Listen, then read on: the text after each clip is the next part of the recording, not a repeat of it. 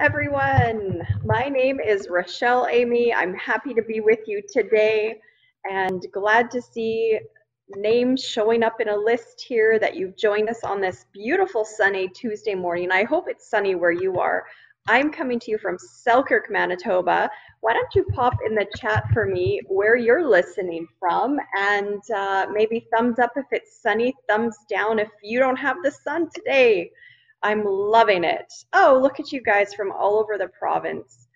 Oh man, if we could just solve the problem today on how to make winter wait and we could just hang out in fall a little longer, I would love to solve that problem. Unfortunately, we don't have that luxury, but I'm sure enjoying this week of this bonus fall weather that we're getting and I'm finally getting all my outdoor stuff finished. I did the essentials when it was going when it turned cold. I did all my must do's outside. Now I'm doing my wanna do's before winter comes. So thankfully, um, we've got this beautiful day today, and I wish we could solve that that question about winter and the problem on how to just be summer all year round.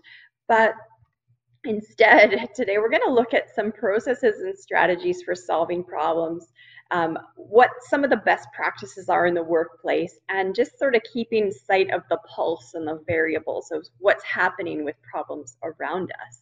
Of course, you know by now, I'm sure, this is who we are Workplace Education Manitoba, helping people to develop essential skills needed for work, learning, and life. That's pretty much the full picture, right? And this is what we mean by nine essential skills. Essential skills are those foundation pieces that make you successful in the workplace. So this is a map of what they look like. We teach all of these at our West Centers and online. Uh, we kind of love doing it because it touches each one of us in no matter what type of job we do, these skills are present or needed. Now, today, when we think about problem solving, we're sort of focusing on these three, um, where our thinking skills is sort of the big picture thing that we need to sharpen up all the time as we face new problems and work within new teams. And usually that's affecting how we work with each other and our oral communication, not even with colleagues, but sometimes with clients and customers also. Now, working on these nine essential skills happens for Workplace Education Manitoba all over the province, and we have classrooms, actual physical spaces you can go to if, you know, we're not in Code Red, let's say, where you can come and do some in-person learning. Lots of stuff with digital technology, uh, numeracy, reading, writing, and that sort of thing. This is where I come to you from today, our nice classroom in sunny Selkirk, Manitoba. And lots of our digital classes with WEM happen from this facility. And you can always visit us at weminterlake.ca to see what's coming up next. So actually this week, I think within the next 24 hours, our newest classes are getting up on the website. So you're going to be able to see for November, we've got some cool topics coming up. Woohoo! Thank you, Carrie, for giving us the cheers in the background there. And uh, you can sign up for a number of different things. And actually, at the end of this presentation today, don't disappear just so quickly because when I'm done, Carrie's going to pop on her mic and she's going to let you know about a problem solving workshop that can even take you deeper than what we're going through today. Now, we don't want to buzz right by the people that made this possible. So isn't it great we can attend this webinar? It didn't cost us out of pocket money um, because we got funding by ERSDC and Manitoba Education and Training. We're grateful for that, that there was funds available to develop curriculum, and also for Human Resources Skills Development Canada and Entrepreneurship Training and Trade, that these projects are funded by so many partners to make this training accessible to all Manitobans. I love the emoji buttons. Thank you guys, because as you can tell, this is a pretty one-way delivery, right? I don't get to see you, you don't get to see me. Uh, so our our interaction in the chat and with those emoji buttons is just life-giving. So thank you. Now, don't we all have a lot of gifts? How about an emoji if you feel like you have gifts in your life? And by gifts, we mean problems. because Tony Robbins tells us that a problem is actually a gift because it leads to our own growth as individuals and within an organization. So if you've got a lot of presents, a lot of gifts, I see it, right? We have sometimes more than just one little gift in our life. well, those gifts bring rewards. There's rewards when we actually work through a problem. Now, we know this. If you're a parent, you know that working through some of the problems of, let's say, potty training results in huge dividends for the rest of that child's life and actually for you as a parent also. Well, when we think about tackling dividends in the workplace, it affects so many things. It affects the quality of our work, which of course increases our reputation. As we do that and we create a synergy in the team and a better product, we start to be able to focus on how to create efficiencies. And a lot of the problems that we face, we bump into them because it's affecting our efficiency. And it seems like that's the category we're constantly honing and trying to refine. And then, of course, good customer relations is good for everyone because it makes not only your job more peaceful, but it certainly affects the bottom line, right? Happy customers, more sales, more profit for the company, maybe profit sharing for you down the road. So let's take a look at our posture. When the problem comes at us, or sometimes we stumble into the problem, what is my own posture when I look at the problem? Do I face a problem? Do I turn away and try to hide from it or run from it? Do I ignore it, hope, hoping that it will go away? Or do I overthink something super tiny and do I have a superpower to turn that into a huge problem? we, we tend to have um, a naturally given posture towards problems. And I actually have a good friend who says they run from problems, avoid them at all costs, and it's sort of their life goal to get over it because they are starting to recognize how when they do that, they create all these other little relational problems and then they end up with more than what they bargained for. So take a little bit of a self inventory and get a sense. Maybe you get super energized by tackling a problem. And so you're the I face it, I deal with it, I run towards it. So know what your posture is because you may be contributing to a problem or decreasing um, some of the troubles with some of the problems just by knowing what your natural bent is towards it. Now, when we face a problem, it is important to take a look in the mirror first. Now, let's just recognize there are some problems that are like the building's on fire and we have to do something about it. So obviously we can't take deep reflective moments at that time, right? But there are lots of other problems that are processes, efficiencies, systems problems, relational problems, where if we can hit the pause button for a second before we react or before we just start solving it, it helps to bring us into a greater place of not only aptitude, but even being interpersonal with the people that we're working on the problem with. So, is it my problem? Well, I don't know. Maybe you have a little bit of a problem like me. I have a little bit of a face the problem problem. I like to face problems generally more than run from them. And so I find sometimes I end up solving problems that really aren't mine. Nobody asked me to solve it. It's not for me to solve. I don't have the time to solve it, but sometimes I just find them interesting. And so I want to solve the problem. So recognizing, is it mine to solve? And should I be doing that? Now, if you're a runaway from a problem person, you need to ask yourself this too. Maybe it is your problem. And by running from it, maybe someone else shouldn't be rescuing it. The other thing is, um, it's a really important self assessment question to ask Did the problem come to you because someone trusts you? So sometimes we are, you know, spit up on, as it were, pardon the horrible illustration, but sometimes we get that verbal vomit from someone about a problem. And it maybe isn't our problem to solve, but maybe they've come to us because they trust us and they need a sounding board. So am I the sounding board or am I the problem solver? I also need to do a little bit of self-assessment when a problem's in front of me to say, what does this create in me? Does the problem create any kind of fear at all? Am I scared of looking stupid? Am I scared of not being able to solve this problem? Am I scared of impacting the company's reputation and sales? Do I have any fear in this game? And conversely, do I have any ego? What nerve is this hitting in me?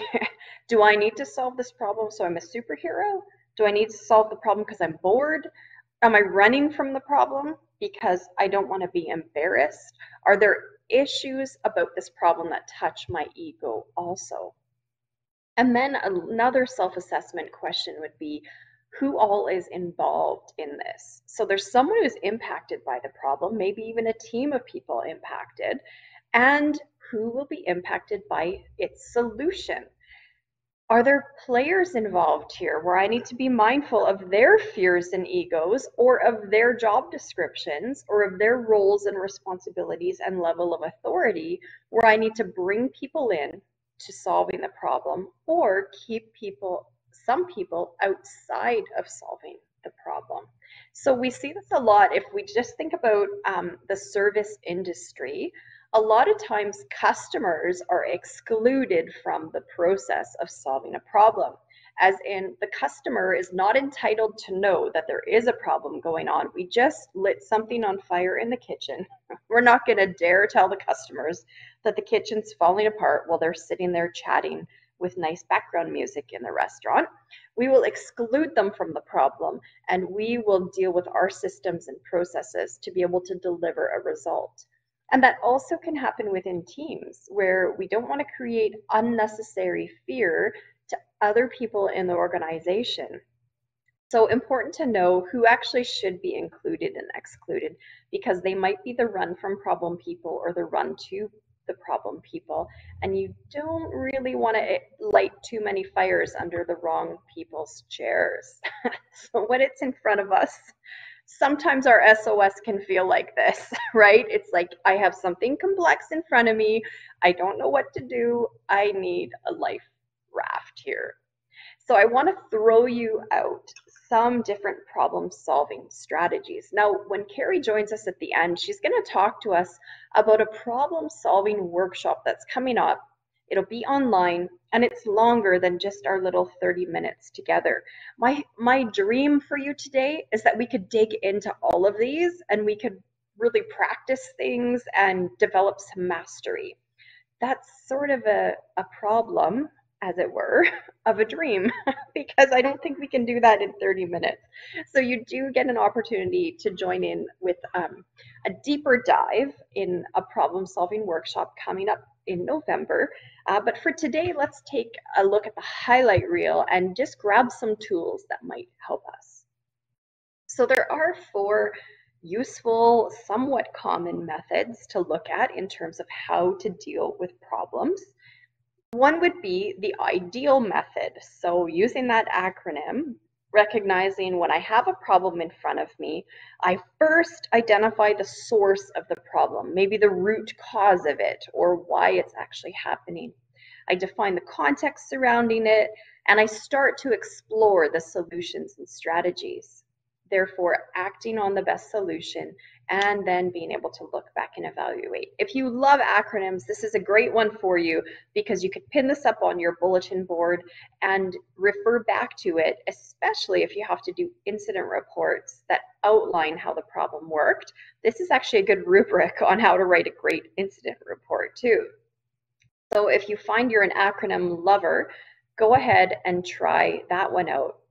If you're um, a much more visual learner where you really love to do mind mapping and brainstorming. The Ishikawa process is actually really helpful because you're you're essentially drawing out a fish and all of the bones where you're able to visualize, okay, I have one main problem, but I have all these underlying underlying causes. Sometimes you only have one underlying cause, let's say. Usually you have multiple because there's usually a couple people involved. And so the causes are coming out of their different departments or their different vantage points and needs. And then I can start to categorize what did those problems look like. Now you can draw in as many little fish bones in between as you want. So you could draw in all the contributing factors to those causes and categories. And let's just use one example and say that one cause is an employee. The employee is maybe always late, let's say. And so that employee always being late would go down below on the causes and I would categorize that in a personnel issue manner. Well, what are all those little fish bones in between that happen? Well, maybe one fishbone is I know something going on in their life that's an extenuating circumstance. And so they actually have permission to always be late right now. And maybe I know that I've adapted their roles and responsibilities. And so part of the causes on why this problem's happening is because they have an adapted role whereas the person working with them does not. So you can see how you can add all those little mini fish bones. Now, who's a visual person? Show me um, an emoji. If you love the Ishikawa method, show me a response. Okay, so we have some visuals who love to do that. So you can actually expand on this. It doesn't have to be three categories. Your fish could be super long. it's more effective if it's smaller, um, but you can diagram and keep working through that. Now, we also have the 5W and 2H, the questioning technique. Who is an auditory processor? You like to talk through your problems. You want to verbally process. You want to dissect and brainstorm. Show me an emoji if you talk through and reason it out. This is so important to know about yourself. Now, this particular questioning method, this can be done in a written format, absolutely. But this helps some of us who are verbal processors to be able to ask the questions, especially if we haven't determined what a root cause is, right? So we want to be able to ask enough questions that we start to get a sense of what a root cause is and then what all those contributing factors were. So especially if we're dealing with um, a problem that's affecting a team and the whole team is trying to unpack it, this is a great method to ask your who, what, when, where, why, hows, and then how often, how many, how much, and sort of digging in deeper to what the costs of the problem is or what the costs and dividends of a possible solution are. And then this is super creative. If you're a right brainer, if you, you know, you could be all these other things and like all these other categories. Um, but if you're a right brain thinker, and that's not just somebody who's creative and likes to paint a painting, we're talking often about people who are really good with numbers and data. And so they're detail oriented and they like to look at creative solutions. Are you one of those people? That is like a great camp to be in, and you deserve a pat on the back if that's you. Give me an emoji. Don't be shy. You can celebrate yourself. Uh, this is really cool. If you take a look at a problem, you have to come up with a minimum of seven solutions or alternatives to how this can be tackled. And under each seven, you're basically doing pros and cons. So, one of the creative ways we see this technique at play would be, for example, with directors in um, movies and theater production, where they often won't accept um, an actor's first contribution of an improv or a first contribution of modifying a script or a character. They often make them prove three or more little alternatives before they realize they're going to get to that golden nugget of what's really going to work for the production. So directors are really good at doing this. Um, but if you're a detail person and you love to measure things, this is such a great one because you get to score each of the alternatives and then make the best decision based on that information especially if you're in high risk situation. A lot of money is at stake a lot of safety or there's some kind of risk at play. The seven ways method can be a great piece of research and backup that you can have to show why you chose the method that you did choose. So there's something there for everyone really. There are more ways too but those are some of the common ones that people find when you're working with a complex problem, you can logically push your way through to a solution. This is so true. Is this not true? we actually create more problems when we're just using the same thinking that we did originally that created them. So being able to think outside of the problem and think, let's be creative. If we got ourselves into this mess, maybe the way out of it might even be to try a different problem solving method than we usually use on our team.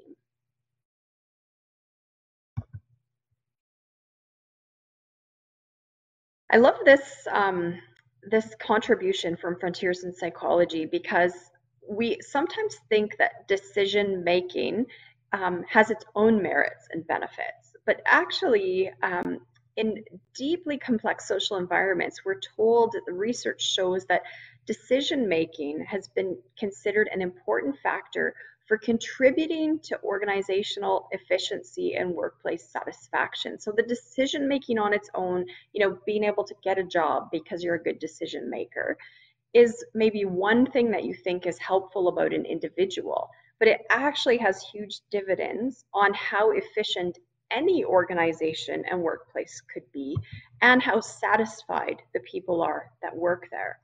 Now, we we could dig in really deep with some of these scenarios, but I just want to give you an overview that let's say there's production line. Let's say that the clerk who processes the parts knows that quality is number one.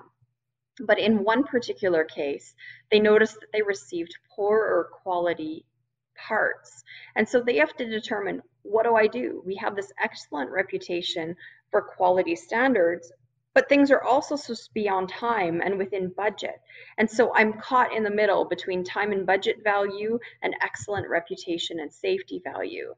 So what are some questions I can consider about this problem? Maybe there's policies and procedures I need to look to, and some of those might outline out of our company's values, which ones hold the trump card or sort of which ones are more powerful than all the other policies and procedures. There's usually a pecking order to those policies and procedures. Who might I need to approach? So um, is it a chain of command thing or is it a department thing where I have to go to certain departments instead of just up the chain of command ladder do I look at whether this is something that happened within our company or is this an external supplier that's made provision of these parts to me? And then please camp out on this bottom one. Please, please, please. in your role with the problem in front of you, what do they want you to do with the problem? Do you have a supervisor or group of managers who want you to solve the problem? Or do they want you to jury out possible solutions by incorporating more voices at the table. You do want to know this. Do they want you to be a problem solver or a problem reporter? And do they want you to just follow directions on how that problem should be solved? Or do they want you to come up with a multiple part scenario of how the problem could be solved. You need to know this about the people that you work with. This is so great. Of course, I do lean towards facing a problem instead of just running from it, but not everything that is faced can be changed. However, absolutely nothing can be changed until it's faced. So there is merit at turning towards the storm. And actually, fun fact for us, because we're all Manitobans in this workshop today, did you know that the Manitoba bison, they always face into a storm, whether that be a blizzard, a rainstorm, a windstorm. They turn and they take their posture facing the storm. I just love that fun fact about Manitoba bison. So let's be like the bison, okay? Looking at your values and your company's values, these are not suggesting that there's a right answer to these. Every company is different. And people over profit sounds beautiful. It sounds like the right answer, but that's not always true. Sometimes it's profit over people. And so you need to know what your company's values are, not just your own personal bias values. It's always better that you tackle it, say it, do it, than for your customers, let's say, or your competition to be whispering about what that solution should be. So when we're looking at being within a team and tackling problems that happen in that group, we want to make sure we've underscored and understood the company's values, underscored and understood our company's goals, identifying the root and doing the things. So doing the things is just, you know, a little bit of slang in this slide. So hopefully you have a good sense of humor and you can bear with us in that. But doing the things always leads us to underscoring the values. We all want to do the right thing, right? Even if you're selfishly motivated and you want to do the right thing that gets you advanced in your career, if that maybe is more important to you than the company, really those things you do have to underscore the company values and it should take you through that cycle where the people involved whether that be internal or external external stakeholders where those people get to see you underscoring the company values its goals and then knowing that you're always dealing with the root of the problem. Working together precedes winning together Write that down. Say it four times fast. Working together precedes winning together. Collaboration is multiplication. I so incredibly believe in this because I feel like when I'm out experiencing other companies that I don't work for, you can almost feel collaboration in the building. You can feel whether that team works well together or not. And it's always a win to external customers we're going to pass by um, another scenario to look at um, and just think about um, maybe setting for ourselves some some goals when we're looking at the problem.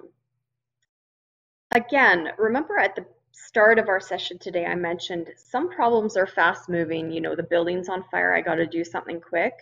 Some we get a little bit more time to dive into. So we need to recognize right away what's the bleeding, what's the fire, what's the emergency part of the problem, and let me do something to mitigate that instantly. Once that part is dealt with, and maybe sometimes that's even passing that part off to someone else so they deal with the emerging emergency part and I move on to the root problem part. So maybe did someone fall and break their hip walking into our building? We need to appoint someone to deal with the broken hip. But did they fall because there was a patch of ice? Now I need to deal with the patch of ice. And why is the patch of ice there? Was there someone who was supposed to deal with that patch of ice? Maybe I'll mo mobilize someone to deal with that root problem, but digging deeper in order to prevent a recurrence, I might need to adjust my shift schedule so that someone's there to address the patch of ice before we open for business that day. So our problem solving goals are what's the immediate that needs to happen? What were the root problems contributing to it? And how do I keep it from happening again? If we keep a problem solving log, it certainly helps us with the how do I keep it from happening again. Often this needs to happen in community. You can do all the assessments on your own, but I really hope for your sake that you have someone else that you can bounce these ideas off of, whether that's a supervisor or just a team member, um, recognizing that working in community often brings better solutions to deeper problems. So again, um, looking at if I'm going to solve this problem in the best possible way, what are the things I need to know? I need to know my own strengths and capacities and even the authority I've been given. I need to understand the bigger picture of the culture and what the pecking order of priorities and values are in my company.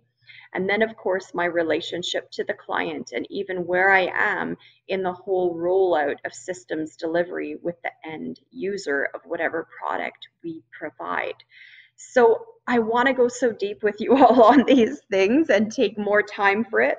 But like, you know, there's this giant buzzer going off in the background where I just have only been afforded 30 minutes with you today. So I want to pass it over to Carrie. Before I turn my mic off, I just want to thank you so much for being here. If I had an emoji button at the top of my screen, I'd emoji you right back. But Carrie, it's all yours now.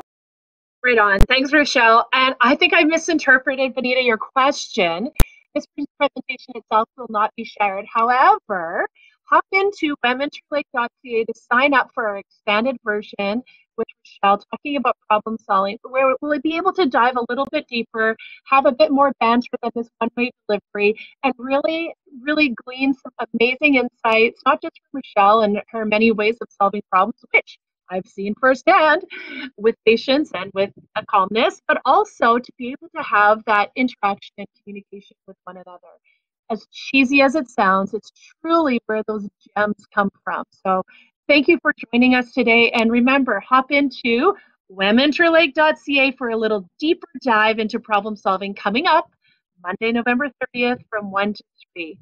Take care, everybody. Go forth and be awesome. Have a great day.